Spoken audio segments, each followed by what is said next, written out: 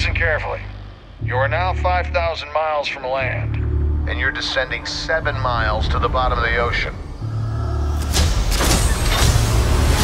See you all in a month. Here we go. All right, we're gonna do this. Let's do this.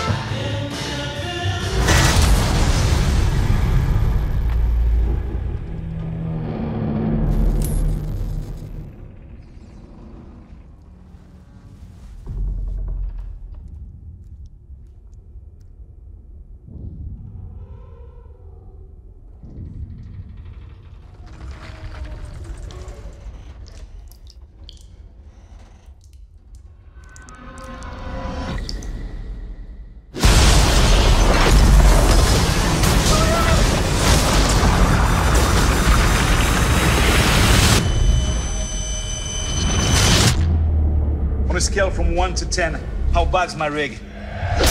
Ten.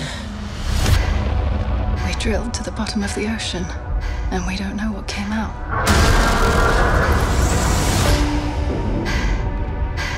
Gotta get to the station. How would we even get there? We walk.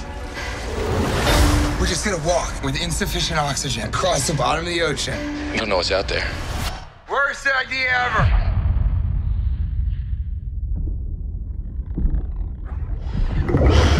Was that? Turn your lights off.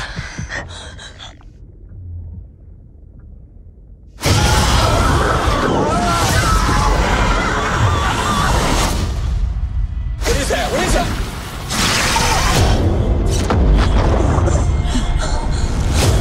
What is happening? There's something following us.